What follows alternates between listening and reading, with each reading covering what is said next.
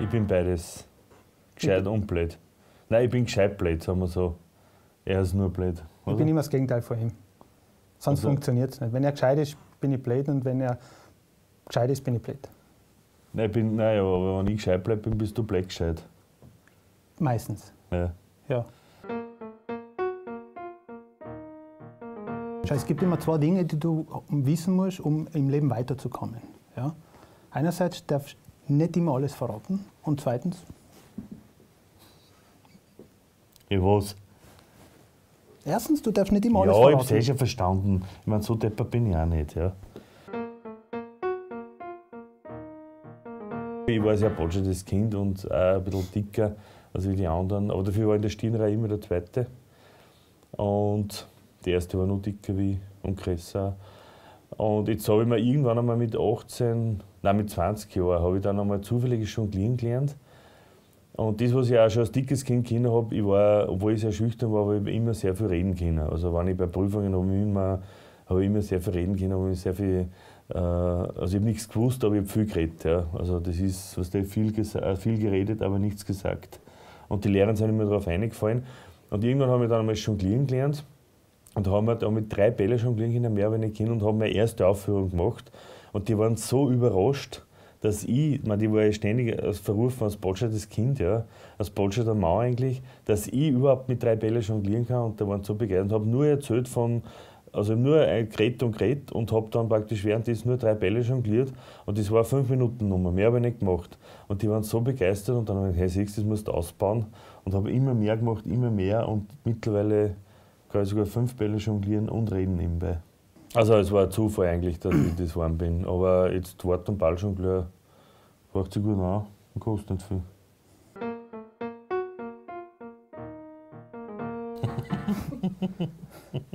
Die Frage beantworte ich nicht. Wieso nicht? Äh, ich glaube, man muss im Leben auch, auch das einmal probieren. Und die Hemmungen, zum Glück gibt es Alkohol. Du trinkst ja gar nichts. Verrat nicht alles. Bitte, du, du Verrat nicht vor die. Kamera. Ich meine, das ist halt alles da live.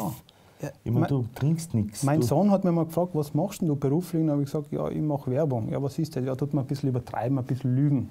Ja? Und dann ist er mal Schule gegangen und dann hat die Lehrerin gefragt, was macht dein Vater? Und dann hat der Bub gesagt, der lügt den ganzen Tag. Ja, und dann. Ohne ja. Ja, ist echt. Ja. Ein schlechtes Schnitzel, ein Honigschnitzel, es ist einfach die Grenze des schlechten Geschmacks. Nein, ich habe schon eine Grenze. Ja. Es ist, also über Randgruppen da ich mich zum Beispiel nicht lustig machen. Über ja. Südtiroler zum Beispiel. Oder? Zum Beispiel über Ja. Erben da ich mich nicht lustig machen. Ja, nicht. Über Randgruppen niemals. Nein, nicht Südtirol, das sind keine Randgruppen, aber Also. du weißt schon, was ich meine. Aber äh, da gibt es irgendwie für mich Grenzen. Ja. Also ich bin ja, also ich denke mal, ich mache mich immer nur über Leute lustig. Also am liebsten mache ich mich über mich selber lustig und über die. Ja. Genau, ich auch über die und über, Über die. die. Über jemand, der schon am Boden liegt, soll man nicht drauftreten. Äh, solche Geschichten, wenn es einem gut geht, dann kann man auch ein bisschen einen Witz machen. Äh, aber sonst muss man schauen, irgendwie doch am Boden zu bleiben. Das ist der schlechte Geschmack. Ich, ich habe überhaupt nichts zum Essen, ich habe überhaupt keinen Geschmack. Darf schon nichts essen. Aber ich habe schon so einen Hunger, ist ein Wahnsinn. Für ihn nicht, weil er hat nicht Platz. Nein, für mich ist das ein Moment, ja. Für mich ist das super. Für mich war das wirklich was. Ich wohne genau gegenüber vom Dom, ja. Und dann hätte ich wenigstens eine Woche, wo mir der Turmjähre mit nicht in meine Wohnung reingirlt. Ja. Da konnte ich selber in meine Wohnung reingirlen, weil ich wohne wirklich genau gegenüber. Und der schaut mir praktisch genau in mein Wohnzimmer rein. Und da hätte ich eine Woche wenigstens eine Ruhe, weil dann kann ich reinschauen. Aber es geht nicht, weil dann müsste man das Zimmer doppelt so groß machen. Und Nein, da ist, ja, und wieder da ist der Platz nicht. Schmähs und mit den, das ist schon, das interessiert keinen mehr. Dann bin ich still. Für mich wäre es gern, ich würde es machen. Ja, ich auch eigentlich. Ich würde schauen, wie lange ich mich- wie lange ich es wirklich mit mir aushalte, wenn ich nur allein mit mir bin. Weil wenn ich mit anderen Leuten bin, kann ich mich mit anderen Leuten beschäftigen und nicht mit mir selber. Wenn ich eine ganze Woche da oben bin, boah, dann müsste ich mich mit mir beschäftigen.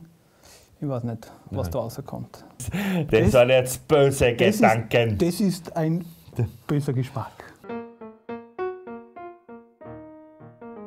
Nein, unbedingt. Nicht über Gott. Wir machen uns ja nicht über Gott lustig, sondern über die, die Menschen, die in der Kirche glauben, äh, sie wissen, wer Gott ist und wie das mit Gott so geht und wie, wie der das macht, also die, also die ganz die Gescheiten, ja, die in der Kirche sind.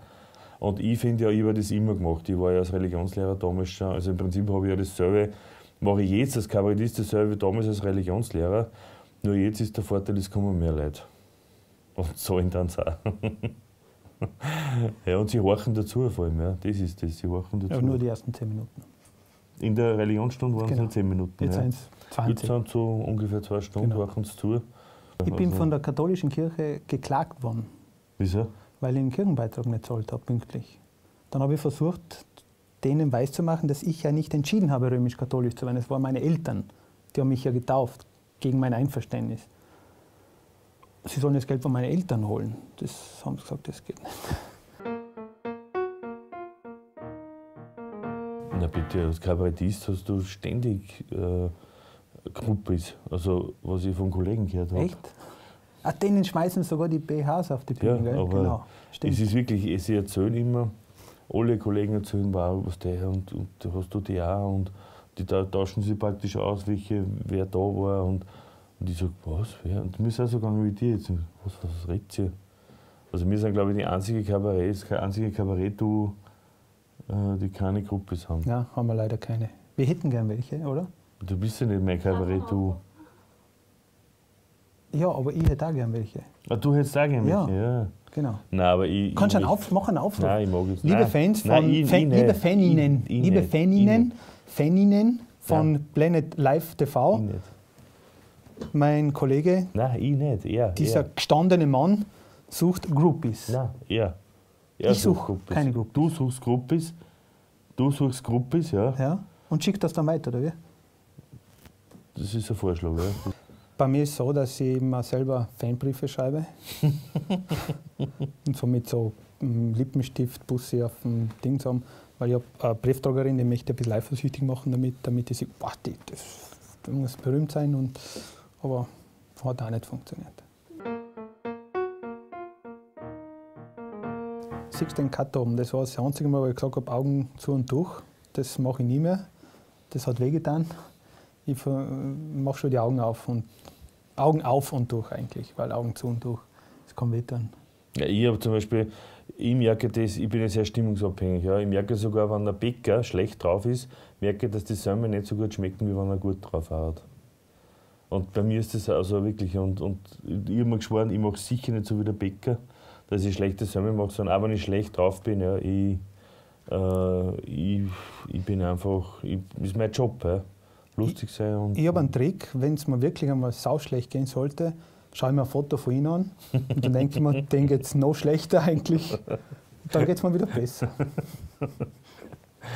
Und ich habe auch einen anderen Trick, ja. wenn es mir wirklich schlecht geht, schaue ich mir ein Foto von ihm an.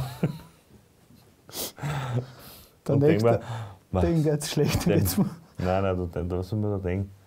Das kann ich gar nicht sagen, was man da denkt. Naja, wobei ja die Zimmer 09, das mache ich nur mit ihm.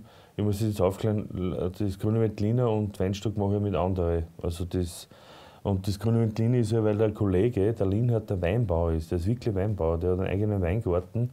Und das Ich bin der Weinstock ist halt, die Flaschen ist ja auf das Bibelzitat praktisch. Und ich persönlich, und jetzt kommt nämlich der Überhammer, ich trinke eigentlich nur Bier. Nein, vom Wein kriegst du am Wampen nicht zusammen. Ja. Ich bin in Südtirol aufgewachsen mit einem Eisacktaler Silvaner vor der Nase. Ja. Was, wa- was hat er? Ein Eisacktaler Silvaner. Ja, ist ein Weißwein. Ich dürfte der Obelix, glaube ich, äh, in den Zaubertrank hineingefallen ist, dürfte in so ein Eisacktaler Silvaner Fass reingefallen sein. Und ich glaube, die Nachwirkung habe ich heute noch. Ich greife zwar keinen Wein an, aber ich brauche nur riechen. Und ich verfalle in dieses alte Muster von, von damals und fange dann an zu, zu, zu stottern, zu, zu ganz nervös zu werden.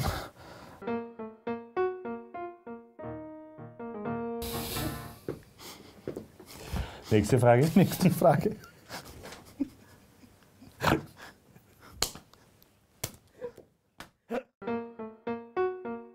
Was Ich heißt der Regenswert auf Italienisch? Äh, keine Ahnung. Es ist lang her. Es ist so lang her. Oder vuoi, Ciuccio? Chucho, was? Ciuccio, Was heißt Chucho? Alusci. Alusci. Genau. Ich sage aber gleich Luschi, weil Chucho und Luschi ist Chucho dasselbe. ist lieb. Mit der, Chucho. mit der Handbewegung. No, Chucho. Genau? Wohl, Chucho. Wow, Chucho. Mein Englisch ist not the yellow from the egg. Ja, und danke für das Interview müssen wir jetzt sagen, oder was? Danke für das Interview. Danke für das Interview. Du, danke fürs Kommen. Danke fürs Das war Kommen. super. Danke, ja. Echt. So, aus. Aus, Schnitt, Cut. Inte.